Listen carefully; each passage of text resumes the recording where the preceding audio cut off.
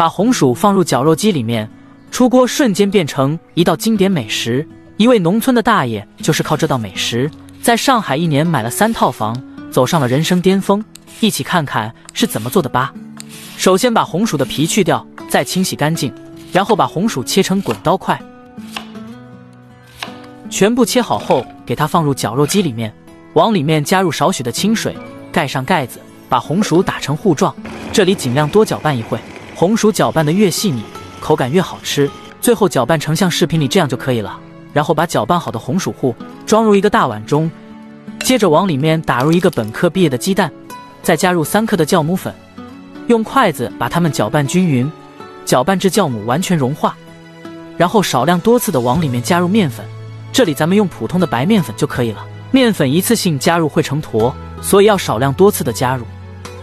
这里我分三次，一共加了二百克面粉，大家一定要按照我这个比例来加入。记不住的朋友可以先收藏起来。搅拌至完全看不到干面粉，像这种粘稠度就可以。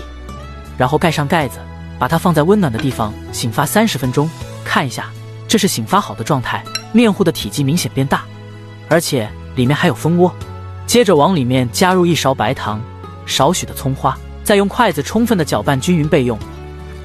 接下来准备一个电饼铛，倒入少许食用油，用小刷子涂抹均匀，然后把搅拌好的红薯面糊。